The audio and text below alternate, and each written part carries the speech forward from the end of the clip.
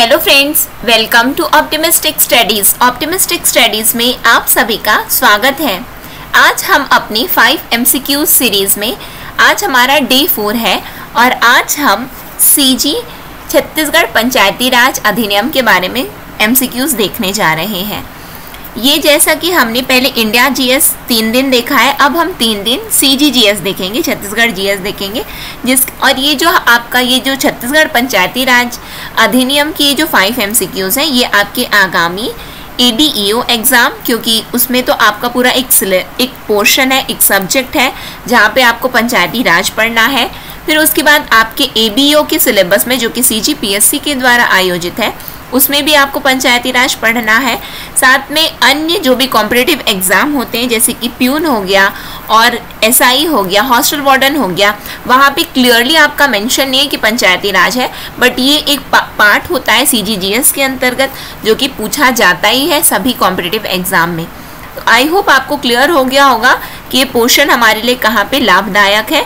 तो चलिए फिर हम आज के सेशन को स्टार्ट करते हैं।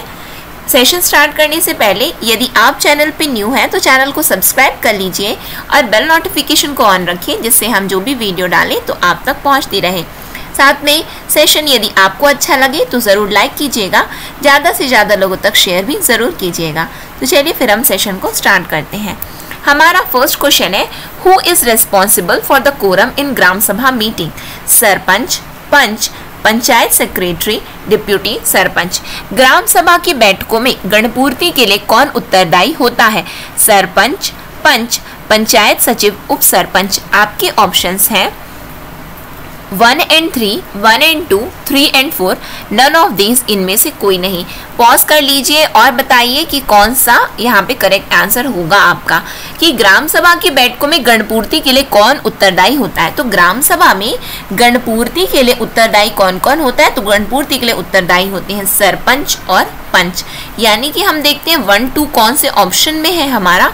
वन टू मतलब ऑप्शन नंबर बी हम, यानी कि यहाँ पे हमारा करेक्ट आंसर क्या हुआ? ऑप्शन नंबर बी अब आप ये बताइए, इसी इसी प्रश्न को यदि इस तरीके से पूछा जाएगा, ग्राम सभा की बैठक में गणपूर्ति के लिए कौन उत्तरदायी नहीं होता है? यदि पूछा गया, नहीं होता है, पूछा गया तो आपका फिर क्या आंसर बन जाएगा? आपका आंसर बन जाएगा उप सरपंच। क्लियर है? समझ में आ रहा है आप लोगों को? क्या बोला गया है? और ये ऑप्शन में नहीं रहेगा फिर, ठीक है? ये वाला नहीं रहेगा। यहाँ पे क्या है? इनमें से कोई नहीं लिख देते हैं हम। मैं एक दूसरा क्वेश्चन भी आपको यहाँ पे फ्रेम करके बता रही हूँ, है ना? इनमें से कोई नहीं। अब यदि आप बताइए, ग्राम सभा की बैठकों में गणपूर्ति के लिए कौन उत्तरदायी नहीं होता है? तो कौन उत्तरदायी नहीं होता है? सरपंच, पंच, इनमें से कोई नहीं, या उप सरपंच तो कौन उत्तरदायी नहीं होता? तो उप सरपंच उत्तरदायी नहीं होता। और यही यदि पूछा गया, कौन उत्तरदायी होता है? तो बताइए, कौन उत्तरदायी होता है? सरपंच और पंच उत्तरदायी होते हैं। क्लियर है आप लोगों को? नेक्स्ट क्वेश्चन में हम आ जाए। नेक्स्ट क्वेश्चन क्या है हमारा? नेक्स्ट है हमारा ग्रामीण स्वशासन का न्यूनतम स्तर, जो कि ग्राम पर जो लोकतांत्रिक संगठन स्थापित किया गया है, वह है ग्राम सभा, ग्राम समिति, ग्राम पंचायत। इनमें से कोई नहीं। पहले ध्यान से क्वेश्चन को समझिए। क्या बोला गया है? ग्रामीण स्वशासन का जो न्यूनतम स्तर है, ग्राम ग्राम पर जो लोकतांत्रिक संगठन स्थापित किया गया, न्यूनतम स्तर मतलब कि ग्राम स्तर।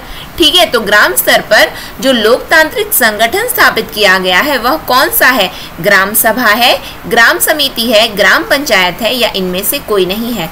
मैं यहाँ पे आपको करेक्ट आंसर बता देती हूँ। आप लोग पॉज करिए और लेकिन अपने से सोचिए होगा क्या। यहाँ पे देखिए पहले, लोकतांत्रिक संगठन पूछा गया, ठीक है? जब लेकिन यहाँ पे क्या बोला गया कि ग्राम स्तर। यहाँ पे हम दो ऑप्शन में फंस जाएँगे, किसमें किसमें? एक ग्राम सभा में और ग्राम पंचायत में कि ग्राम पंचायत होगा या ग्राम सभा होगा। तो ये बताओ, सभा मतलब सभा हुआ। अब सभा में लोग आते हैं, ठीक है?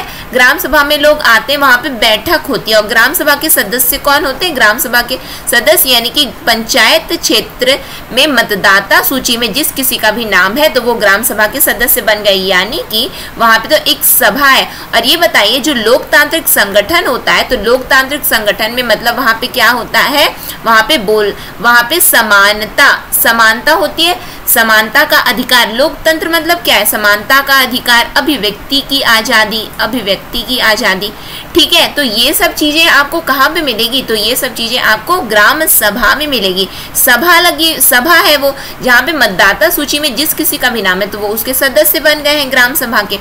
तो यहाँ पे आपको बहुत ध्यान देना है, ठीक है? एक ये इंपॉर्टेंट क्वेश्चन आपके एग्ज़ाम का साबित हो सकता है कि स्वशासन का न्यूनतम स्तर जो कि ग्राम है, उसमें जो लोकतांत्रिक संगठन है वो कौन सा है? तो लोकतांत्रिक संगठन क्या होता है? ग्राम सभा होता है, ग्राम पंचायत नहीं। याद रखना है ना कि ग्राम पंचायत, अब नेक्स्ट क्वेश्चन में और देखिए ये हो गया, फिर उसके बाद मैं आपको डिफरेंस समझाऊँगी यहाँ पे। इनमें से कौन निर्वाचित स्थानीय स्वशासन की सबसे छोटी इकाई है? देखिए क्या पूछा गया। निर्वाचित स्थानीय स्वशासन की सबसे छोटी इकाई है। ग्राम पंचायत, जनपद पंचायत, जिला पंचायत या इनमें से कोई नहीं।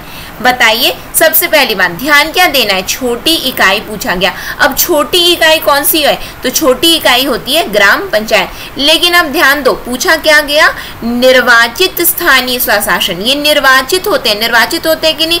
ग्राम पंचायत के सदस्य निर्वाचित होते हैं। ठीक है? जब यदि हम बात करें पंचों की तो वो कौन कौन है? तो वो तो निर्वाचित है। क्लियर है आप लोगों को? तो बस यही बताया गया है। यहाँ पे निर्वाचित बोला गया है। और यहाँ पे देखिए आपसे क्या बोला गया है। यहाँ पे लोकतांत्रिक संगठन पूछा गया है। क्या पूछा गया? देखिए, लोकतांत्रिक संगठन। तो लोकतांत्रिक संगठन क्या होता है? ग्राम सभा होता है। यदि निर्वाचित पूछा गया तो क्या है? तो निर्वाचित की बात आती है निर्वाचित स्थानीय स्वशासन कौन सा है? तो ग्राम पंचायत है। क्लियर है आप लोगों को? ये छोटी छोटी चीज़ें ही हमारे हमारे एग्ज़ाम में हमें ध्यान देना पड़ता है। अगेन फिर दिस, फिर से ध्यान से सुनिए।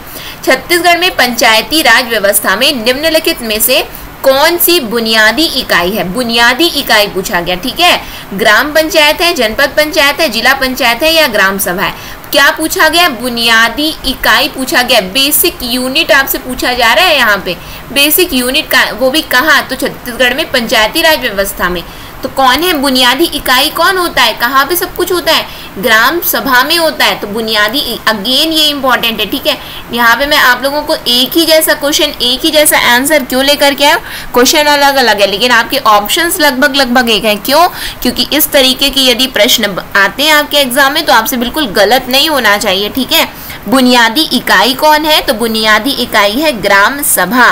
क्लियर है आप लोगों को? नेक्स्ट क्वेश्चन में हम आ जाते हैं। नेक्स्ट क्वेश्चन क्या है हमारा? नेक्स्ट है, वार्षिक कार्य योजना हितग्राहियों का चयन, वार्षिक बजट लेखा तथा प्रशासनिक प्रतिवेदन पर प्रस्ताव ग्राम सभा पारित कर कर सकती है। यदि कर सकती है, कर सकती है, यदि ग्राम सभा में गणपूर्ति उपस्थित हो, ग्राम सभा में सरपंच उपस्थित हो, ग्राम सभा में उप सरपंच उपस्थित हो, इनमें से कोई नहीं। बताइए बताइए क्या होगा? क्या पूछा गया है? वार्षिक कार्य योजना हितग्राहियों का चयन, वार्षिक बजट।